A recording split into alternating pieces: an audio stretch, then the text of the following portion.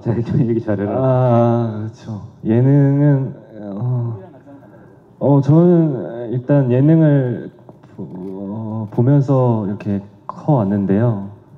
되게 즐거움도 많이 느, 느끼고 좀 울고 웃고 했었는데 어, 예능에 원래 출연하는 의미는 저는 항상 저가 웃고 울고 했으니까 좀 보답하는 의미로 좀 출연하는 느낌이었거든요.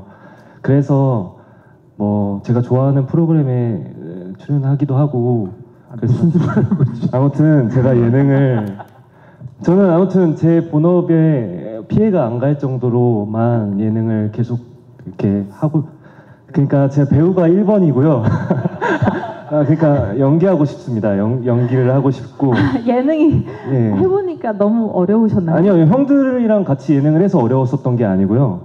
그냥 저도 생각이 많아지더라고요 이번 예능을 하면서. 나는 누구 여긴 어디 이런 건가요? 네, 그니까 많이 힘들었어요. 많이 힘들었기도 했고. 야 마이크 내려. 아니, 펑펑 울었습니다. 펑펑. 아니, 아니, 아닙니다, 아닙니다.